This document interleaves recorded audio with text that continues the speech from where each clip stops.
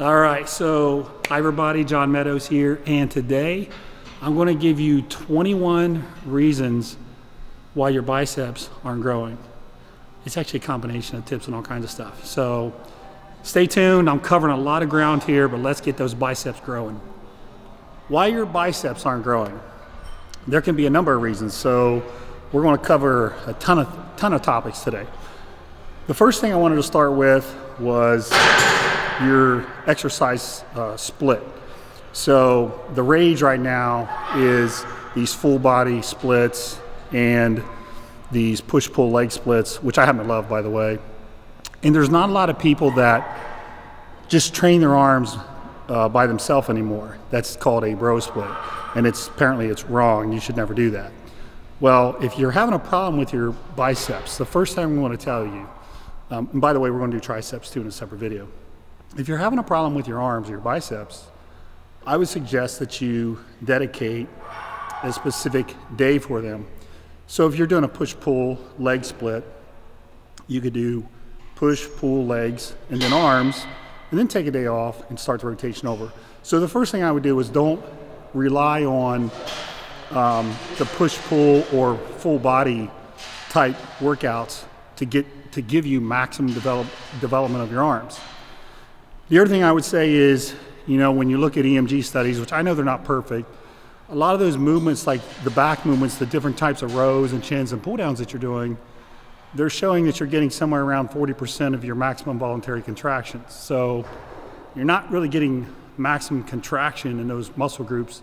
You're getting some, but you're not getting a lot. I think that's common sense personally, but apparently it's not. So, number one, I want you to actually set aside an arm day Yes, I'm advocating just a straight arm day because it makes sense, and that's going to help your biceps, number one. All right, now, number two, um, now I'm telling you in this video like what comes to my mind first. And the other thing, one of the first things that comes to my mind as well is it's how heavy do you train your biceps?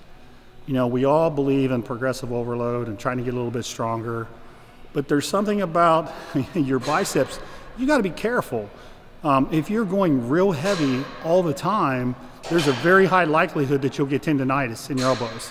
And I bet a high percentage of you watching this video have probably had some kind of elbow issues in the past. Some kind of medial epicondylitis or lateral epicondylitis, that's golfer or tennis elbow. You've probably had some of that. And what I've noticed through the years is that when I used to do the real heavy curls, I think I used to do 190 pound curls with a barbell, 70, 70 80 pound curls with a dumbbell Sure, my biceps looked like they were moving a lot of weight. I was using a lot of um, cheating, doing whatever I could, using a lot of weight, and I pretty much just had tendonitis all the time, and my arms wouldn't grow. And then I'd lighten the weight up, and pow, all of a sudden my biceps are growing. You know, I was probably actually making the biceps actually use more weight because I wasn't cheating, but in order to, I think in order to get maximum bicep development, it's a unique muscle. I think that muscle, you have to be very cautious with going real heavy. You got to be very cautious with going real heavy. So what I'm going to advocate is more of a moderate weight. So instead of the ultra heavy barbell curls, I'm going to advocate that you go a little bit lighter. I didn't say light, I said not ultra heavy, and use strict form, which we're going to get into. We're going to talk about different ways to curl. But in your mind, I want you to think my form and my contractions are number one, not the heavy weight I'm slinging around. That's a very um, broad and general and vague statement, but it's really, really important on biceps, in my opinion. And I absolutely got the best gains in my biceps when I did that. So that's number two, and I feel that that's very important. Okay, so I want to build on that one. I'm telling you to use moderate weights with good form. So let's talk about intensity, failure. Do you go to failure? Do you not go to failure? Well, if you're going to, you know, the science is very is getting to be very clear on this. Again, I think it's common sense, something the bodybuilders have known for decades as well. But if you're going to go with moderate weights, not real heavy weights, now you're going to have to do more stuff to failure. Okay, so it's not going to be good to get a moderate weight and just do some pumping, leave a bunch of reps in the tank, and do it again.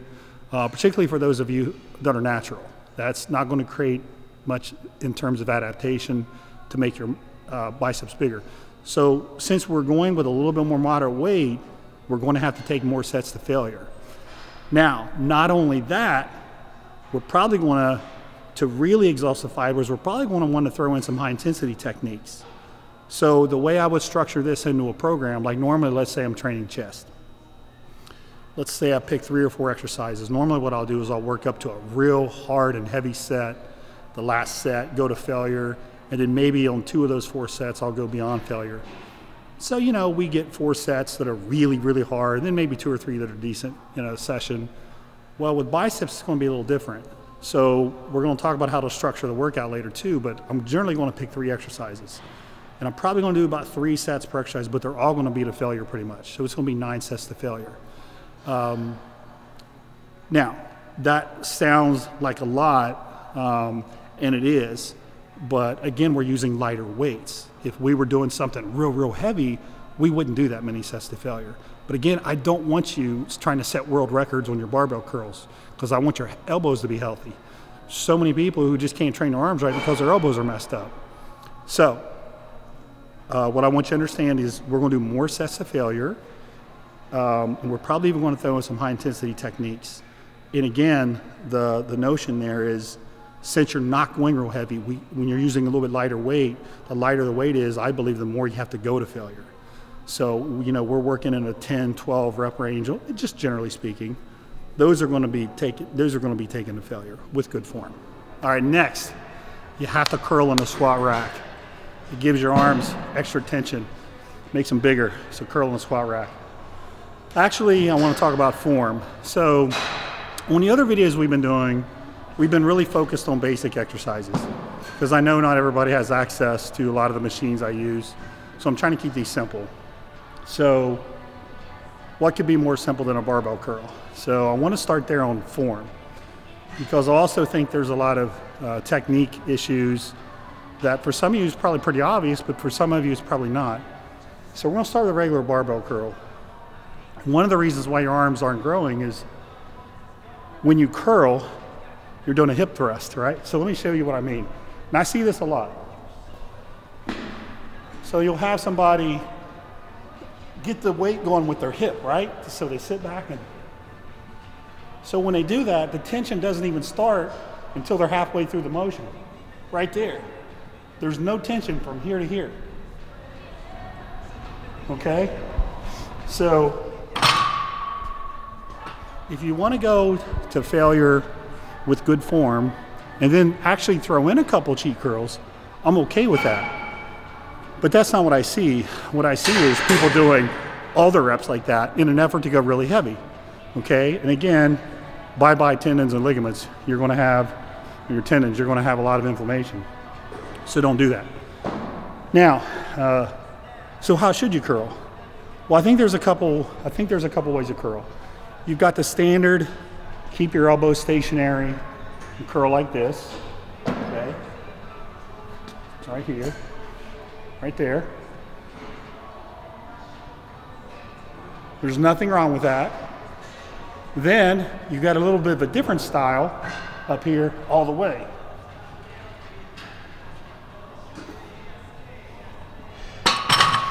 Now the second style, I see people all the time saying that's wrong. It's actually not wrong. Your long head contributes a little bit to shoulder flexion. I'm not saying you're going to get massive biceps if you just stand there doing this. I'm not saying that. But what I am saying is when you get up to here and you give it a little bit more shoulder flexion, it actually works the long head of your bicep a little more, a little bit more here on the outside. So, and, and listen, just try it. Just sit there. I want you to do this. Flex your arm. Now I want you to do this. And you'll actually feel the tension. You'll feel it, it's real good here, and then bam, it's even harder. So if you want to curl like this, that's great. If you want to curl more like this, up, that's great too. Play with it. Um, see which one you prefer. Maybe you like them both. Maybe you want to do some heavier sets like this, moderate to heavy. And then maybe lighten it up a little so you can come all the way up. Um, so anyways, that's barbell curls. All right, so there were two tips there. No hip thrusts, okay? Start strict. unless you want to add a couple cheat reps at the end. And then for a little extra contraction, particularly on the long head of the bicep, you can go ahead and take it up and squeeze. All right, now let's talk about dumbbell curls, another very, very basic exercise. So um, this kind of relates kind of like to the hip, the hip thrust I was talking about, but people swing it with their shoulders. So I see a lot of people curling with a swing like that. And again, there's no tension at the bottom. So instead of curling, they're throwing the weight up. Very little tension on your bicep when you do that until you get to like right here. So what I want you to do is I want you to keep your elbow pinned against your side when you start. So here, okay? So none of this, all right? No swinging, okay? Now, the other thing people do is they're, they don't know it, but they're training their brachioradialis, this muscle right here. They're training that more instead of their bicep. That muscle helps you when you're kind of in that neutral or pronated position like this. So what I see people doing is instead of supinating early and using your bicep, they're doing this all the way up and then they're doing a little twist at the end. That doesn't do a whole lot, okay? That's okay if you want to just train your brachioradialis. But your brachioradialis, I mean, what people tell me is I just feel my forearms. I don't feel my biceps. And then when I watch their form, I see them doing that. I'm like, well, no wonder. You're, you're actually training like you're trying to train your brachioradialis. So here's what I want you to do. I want you to supinate very early in the movement at the bottom third, okay? So I want you to supinate down here, okay? I don't want you to come up here and then just do a little supination like that. I don't like that. So strict, supinate at the bottom, and then bam, okay? Supinate at the bottom, fully, okay? Now there's a third little trick to these too. People will get the heavy weight up, then they'll drop the weight down. So they just drop it down. You've got a great opportunity to, to eccentrically contract. So use a good negative when you lower it. So supinate at the one-third position at the bottom, around there. And now, real, now really put a lot of emphasis on the negative, okay? And then come back down, okay? So I want you to really focus on the negative. And I just see people paying no attention to the negative. They're coming up and then they're just dropping it coming up and just dropping it. So supinate, up, and then real good strict negative, okay? If you do just those three things on your dumbbell curls, they're gonna feel a million times better. One of the big, big misses, I think, in people's bicep workouts is they don't train their brachialis. Okay, your brachialis is a muscle that sits underneath your bicep, right about right there, okay? When that muscle develops, it pushes your bicep up. So when people say, well, I want to get a wider arm, training that muscle will help you do that. Now, I'm pretty lucky because uh, growing up in bodybuilding, I was always taught that. Like you got to develop your brachialis. So that's always been a part of my arm routines. But I don't see people doing a lot of hammer stuff anymore. And I think every bicep workout you do, you should include brachialis work, whether it's a reverse curl, whether it's a hammer curl. I personally love hammer curls. By the way, that brachialis is an incredibly powerful elbow flexor. It's actually even stronger than your biceps. So make sure that in your bicep routine, you're training your brachialis, okay? So you can do it here, you can do it here, you could do uh, the EZ bar, with a pronated grip like that. I personally like the hammer curl better, but it is a big miss if you don't train that brachialis. So make sure you guys train that brachialis. Now, there's a, there's several different types of hammer curls. If you want to check out a video we made a while back on different versions for you to play around with, uh, check out the video above. All right, now another real basic exercise that you all know I love is our, it's a preacher curl. This is another exercise where I think people really mess this up. So when you're doing your preacher curl, I see a lot of people doing this. Okay, so they got a low curl at the top, but I see them starting it like this. Okay, I want you to just sit back and curl strict. Okay, just like this. So none of this, okay? I I know that sounds simple, and you probably already knew that, but man, I see a lot of people doing that on their preacher curls. And that is a beautiful bicep exercise. We're actually going to talk a little bit more about that later in the actual programming part. So make sure you kill the momentum on these. The other thing is, is you don't necessarily need to go down all the way on these. It can be really hard on your connective tissue at the bottom of your bicep too. So go down about four fifths of the way before you come back up, okay? These are going to work the bottom part though. That bottom part is very tough. So preacher curls, I love them. Let's keep that form clean. So the other thing that's important on these is where you actually put the pad. I like to see your arm on the pad like this. So what I've done is I've set the pad too low. Now if you get the pad too low, look where my elbows are. So it's not terrible, but I don't think you're getting the most out of it. I'd rather, again, I'd rather see your arm down like this, curling, okay? So just make sure you have the pad set up right. I want to talk about the strength curve. You've probably heard a little bit about the strength curve.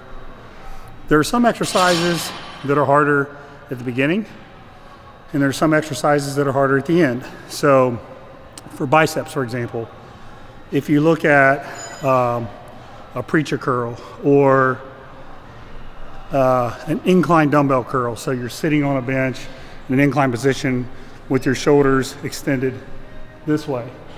The beginning, the beginning of the motion is harder. Some exercises are harder in the middle, like a barbell curl or dumbbell curl. You get that spot right from here to here that's harder.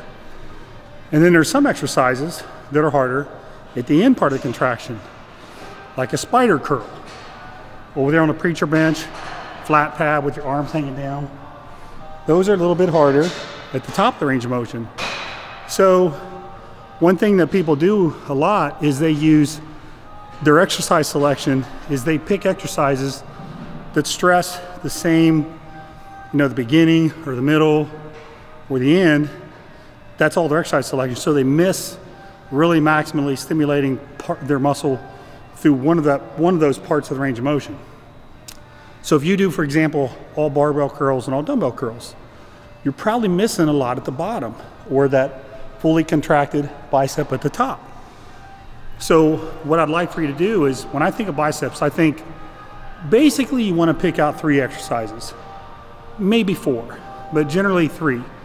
You know, when you see people doing six, seven, eight exercises for biceps, there's no way they can be training with a lot of intensity because you can't do set after set after set, six to eight exercises at that high level of intensity. You can't do that. So what I want you to do is I want you to pick an exercise that works more the middle to start with. So that could be a barbell curl. That could be a supinated dumbbell curl. That could even be a hammer curl. So pick one of those three. Normally I'm going to pick a hammer curl, but pick one of those three. Uh, your next exercise is going to be something that stresses the contraction. So actually we're going to walk over here. I'm going to show you a spider curl. Okay, so one option you have for working the, the contraction, the contracted part at the top is a spider curl, and I love these. So notice the pad is flat right here.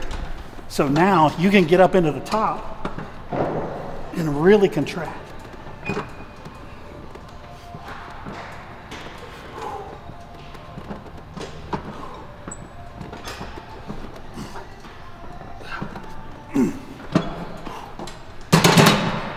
That's one option I really like. Now let me show you another option. All right, so another way to work that contracted part of the curl is set a cable up so you're pulling from a low angle. now you're going to pull not just to here, all the way up. Okay? So here, flex. Here, flex. So the cable is great because it allows you to go all the way up into that contraction. And again, remember that full contraction at the top is a lot of the long head of your bicep, the outer part. So that's another option. So I would typically, oh, you know what, while I'm standing here, let me show you another exercise. Here's another uh, option. This way. You could use a you could use a curl bar on this too. I actually smash the dumbbells together when I do these. Big contraction. Big contraction at the top. That's another option you can try. So that would be where I would put my second exercise. Now, what I like to do ideally by this point is have a crazy pump in my biceps, full of blood. That's when you hit them with the stretch exercise. So that's when you would do something like this. You remember when I said that these work the bottom part of the range of motion the most? So now we're working the bottom part of the range of motion. And it's giving you a stretch. So see the stretch I've got right here? Very hard at the bottom.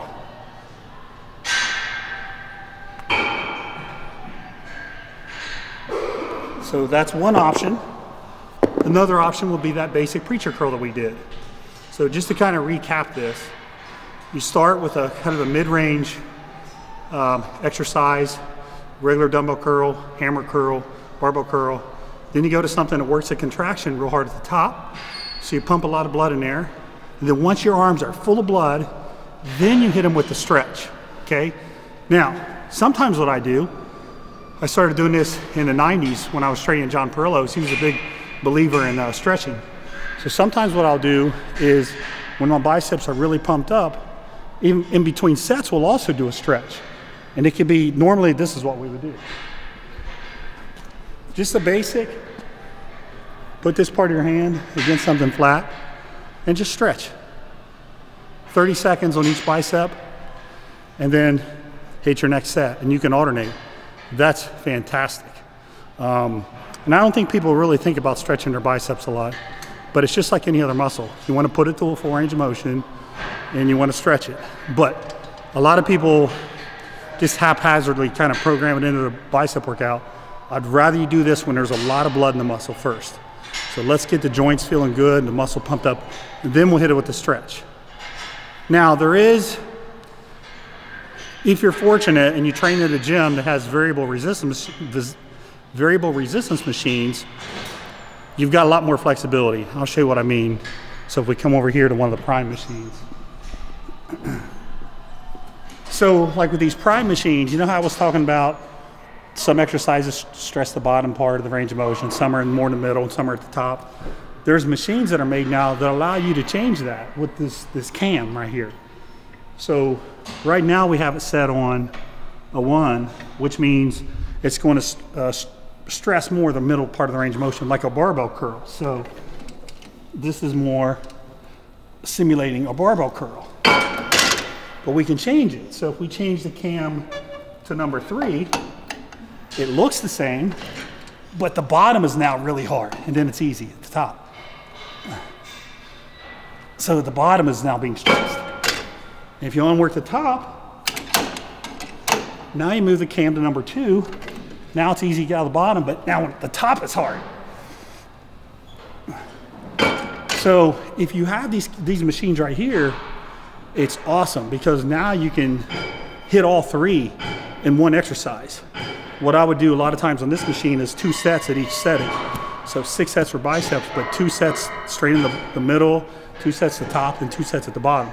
I know you all don't have machines like this, but just in case you do, I wanted you to know that it's easier for you to hit all the different, uh, you know, parts of the range of motion equally. So and I would say you don't have to, you know, a lot of people are talking about strength curves and they're trying to make it perfectly equal throughout the range of motion. You don't have to have a perfectly equal stress level throughout the range of motion on every exercise you do, okay? It's good to have to fight through a part of the range of motion on exercises sometimes. I think it's good for you to do that. So don't think you have to have on every single exercise you do a perfectly evil, or evil, it is evil if you do it all the time, uh, even level of stress throughout the entire range of motion. Anyways, so that's strength curves. So some of you may actually be um, feeling more of the stress in your forearms and not in your biceps. So there is a subtle change in technique that you can use to help lessen the forearm work so you get more in your biceps. And it's real simple. Instead of gripping like this, you just let the weight kind of hang, okay? So instead of curling like this, I'm gonna let it hang. Now there are two exercises that I would use this for. One is a drag curl. That's when you're dragging right up your body like this. That's all bicep. And the other would be just a normal cable curl here on the machine. So if I had one of the little handles, I would do the same thing. I don't like doing all your exercises like this for biceps. I don't like trying to do it with dumbbells and, uh, and all the different preacher curls. I think that change in grip is uh, it's good for isolating biceps, but you you got to be careful with it though. I don't like the feeling that it puts on your wrist in some exercises, but drag curls is good, and cable curls I think it's really good. So if you're having, you know, if you if you feel in your forearms too much and you and you never change your grip to something like this, you, you might be missing out.